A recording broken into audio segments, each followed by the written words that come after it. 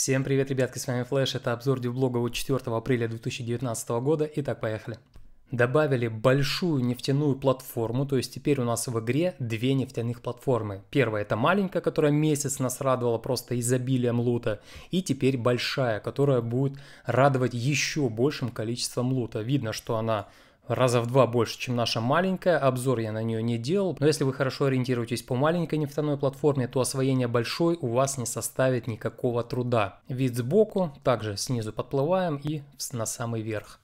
Вид сверху тоже имеется ящик от чинука, имеется синий ученый, только намного больше, и также прилетает чинук, высаживает тяжелых ученых тоже чуть больше. В связи с тем, что возле новой платформы часто гибнут и люди, и боты, они просто вываливаются за борт, и когда труп разлагается, то рюкзак тонет. Теперь добавили рюкзаку плавучесть, то есть не стоит переживать, если вдруг вы даже не успеваете, то вы всегда сможете залутать рюкзак, он будет плавать на поверхности. Добавили новое оружие, это гранатомет, э, название у него MGL, кто хочет посмотреть, как он вообще работает, как он стреляет, можете посмотреть у меня на канале, есть обзор. Ну, из интересного то, что он шестизарядный, у него три типа боеприпаса, это гранаты 40-мм, э, картечь и дымовые гранаты. Он также имеет частичную перезарядку, то есть можете зарядить столько, сколько вам нужно боеприпасов. Крафтить его и все боеприпасы к нему нельзя. Единственное, что можно к нему купить, это картечь, которая продается в городе бандитов. Все остальное, то есть он сам и все боеприпасы, выпадают только с тяжелых NPC. В будущем также им будут пользоваться еще тяжелые NPC, но пока это не успели сделать. Со слов Маурина он постарался его отбалансировать, но все же считает, что он немножко еще слишком хорош по каким-то параметрам, поэтому в будущем возможно еще какие-то отправки. ПВО турели теперь работают от электричества, они требуют 25 мощности, но это в какой-то степени фиксит то, что нельзя авторизоваться, и вы теперь при помощи всяких электрических приспособлений можете сделать, э, чтобы она работала от детонатора, например, и когда вы подлетаете, просто ее отключаете одним нажатием, посадили свой миникоптер и опять включили. Также пофикшены некоторые баги, которые возникали при наведении ПВО, она могла наводиться даже не видя цели. Маурина хорошенько поработал над вспышками при выстрелах, потому что они достаточно сильно просаживали FPS, там было достаточно много ошибок и со светом связанных. В общем, сейчас он все это пофиксил, и теперь при перестрелках FPS не должно просаживаться. Также теперь при выстрелах мы будем видеть вылетающие гильзы. Это было и раньше, но они были настолько смазаны, что практически незаметны были.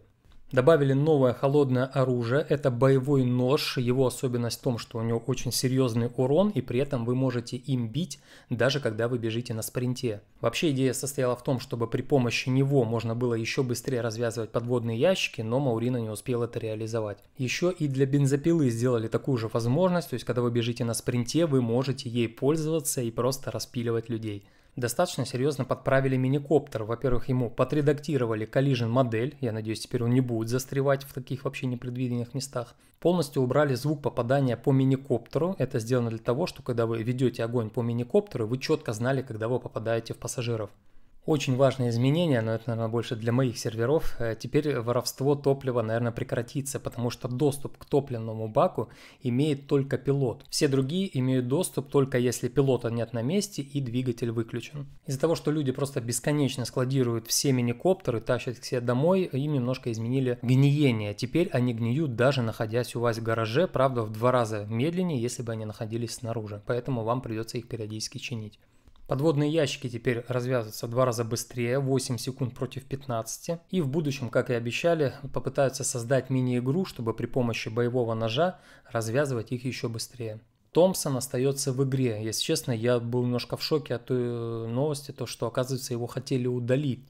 Как говорит Маурина, единственная причина, по которой Томпсон вообще появился, это на заре, так сказать, Раста, когда художники рисовали ну, всякие прототипы постапокалиптического стиля оружия, они в качестве отправной точки взяли именно Томпсон. Что-то там гуглили и вот нашли Томпсон. Маурина, оказывается, всегда планировал его удалить из игры и поэтому вообще не одобрял никакие скины на него. Но с течением времени Томпсон уже настолько прижился, что стал частью игры. Если честно, я сам не представляю раз без Томпсона.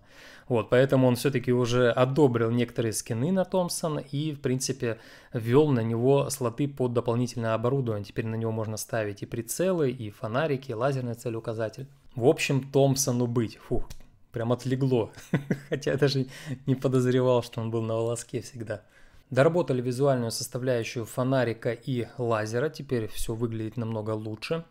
Рейд тихих нерфов. Люди давно просекли, что можно использовать глушитель и разрывные патроны, и спокойненько рейдить даже в округе никто не услышит. Теперь, когда вы надеваете глушитель, урон от разрывных становится меньше, прочность глушителя и оружия теряется быстрее, а сами вот эти микровзрывы стали намного громче, и теперь их можно услышать издалека. Улучшили трассеры, теперь отслеживать траекторию полета пуль стало намного проще и приятней. Маурина, когда добавлял блочный лук, думал, что это будет имба, поэтому он вышел такой достаточно ну, занерфленный. Но с течением времени им вообще перестали пользоваться, поэтому он решил, что пора его обратно бафать. И теперь он имеет такие же характеристики, когда он не взведен, как и у обычного лука. То есть точно такой же урон, точно такая же скорость стрельбы. И еще снизили стоимость по металлу. Вместо 75 теперь стоит 25. Исправлен дульный тормоз, потому что он не давал эффекта снижения отдачи на некоторых оружиях.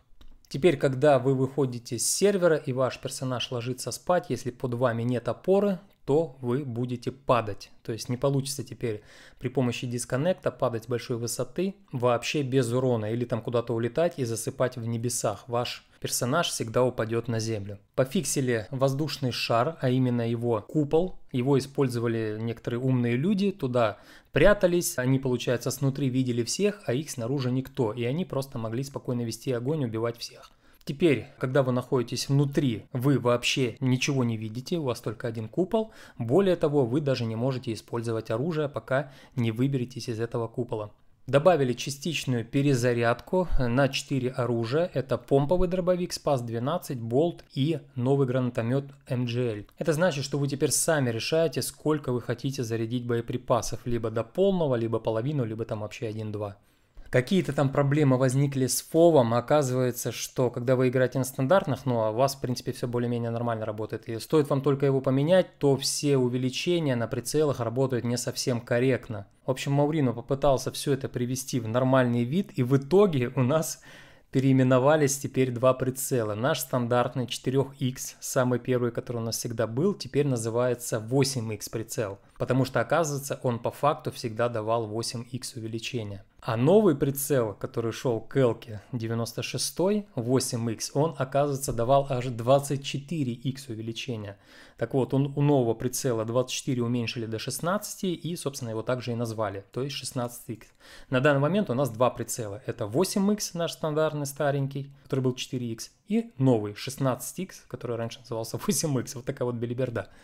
Опять немножко апнули тяжелую броню, она теперь стала немножко лучше защищать от взрывов и также шлем немножко меньше загораживает вам обзор. Еще небольшие изменения. Теперь канистру с водой можно положить в холодильник. Пустые банки жестяные можно, которые мы всегда переплавляли в кострах, можно теперь перерабатывать на переработчике. И самодельный топор теперь добывает ресурсов животных намного больше. Просто он добывал намного меньше раньше, а теперь сделали так, как надо. Разработчики ввели новую систему, которая будет теперь блокировать в течение первых 30 секунд установку новой стены, двери, гаражных ворот, витрины на месте разрушенных старых. То есть, когда э, что-то разрушается, например, стена, дверь, неважно, появляется вот такой вот брусок деревянный, который будет тут э, находиться 30 секунд. Либо можно его вручную, там, либо не вручную взорвать и уничтожить. То есть, пока он тут находится, вы ничего не сможете сюда вставить. Но это, опять же, сделано для того, что когда вас онлайн рейдят, вы не могли заделывать одну и ту же дырку до бесконечности, а рейдеры просто тратят, тратят ресурсы и даже не могут пробить одну стенку. Андрей провел ряд оптимизаций и фиксов, например, нам еще дооптимизировал стрельбу, сделал фиксы проверки траектории снарядов и также пофиксил некоторые эксплойты, которые использовались в основном хакерами, ну то есть читерами, но также могли быть использованы и простыми игроками. Список всех этих эксплойтов приводится ниже в changelog. И также провел оптимизацию модели игрока, которая очень сильно отразится на наших перестрелках. С добавлением новых тяжелых NPC старые наши NPC уже начали выглядеть устаревшими, поэтому им обновили рад костюмчики. Вот так вот теперь выглядит синий NPC и зеленый мирный NPC. Причем маска у зеленого отличается от синего, то есть тут видите более такая закругленная, а тут более квадратная. Алистар сообщает то, что произведен апдейт античита, и они постоянно работают с Easy античитом, чтобы улучшить ситуацию. Но, тем не менее, за последние месяцы Алистар отмечает то, что наблюдается неуклонный рост читеров. Добавили новый режим графики, называется он Super Potato. Теперь он является самым низким, и кто испытывает проблемы с производительностью, то обязательно попробуйте его. Мирный город NPC получил новое ночное освещение, и поэтому теперь прогулки ночью по нему особенно красивые.